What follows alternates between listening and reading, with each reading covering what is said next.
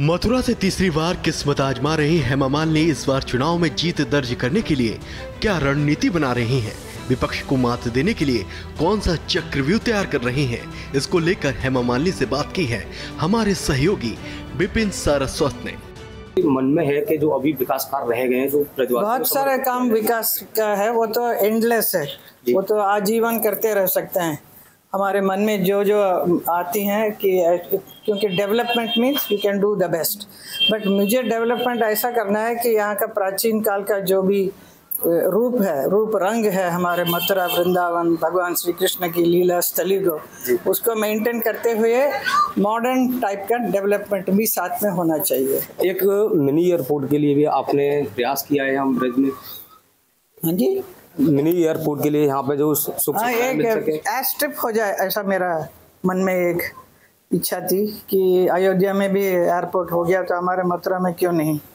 तो at least one air strip होगा ना तो स्मॉल छोटा प्लान भी प्लेन से आ सकता है। तो मैम एक आवाज़ उठती है अयोध्या काशी हुई हमारी है और अब की बार मथुरा की बारी है इसको लेकर के आप क्या वो वो नारे तो हमारे योगी जी ने काफ़ी बार कहा है। जी। तो उनके कहने के मुताबिक हम भी चाहते हैं ऐसे हो। लेकिन अभी बात जो है कोर्ट में है तो कोर्ट का जैसा फैसला होगा उसके हिसाब से सब जो अच्छा एक, एक आखिरी सवाल आप ब्रजवासियों के बीच जा रही हैं तो कैसा प्यार मिल रहा है? और अब की बार क्या लग रहा है? पिछली बार आप करीब तीन लाख वोटों से जीती थी तो अब की बार क्या कुछ उससे ज़्यादा डेफिनेटली उससे भी ज़्यादा मिलने की आशा है। तो हमारे जितने भी कार्यकर्ता हमारी महिलाएँ जो यहाँ पे हैं ये सब की मेहनत से वो होगा।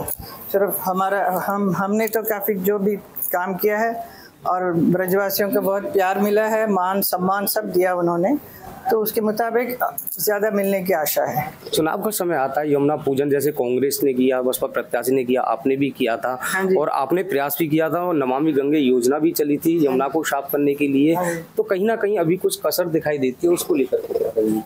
क्योंकि आज़ादी के बाद किसी ने इस विषय में सोचा भी नहीं था। जो आज हम लोग सोच रहे हैं, पिछले दस साल से मैं भी इसकी पूरी तरह से कोशिश कर रही हूँ।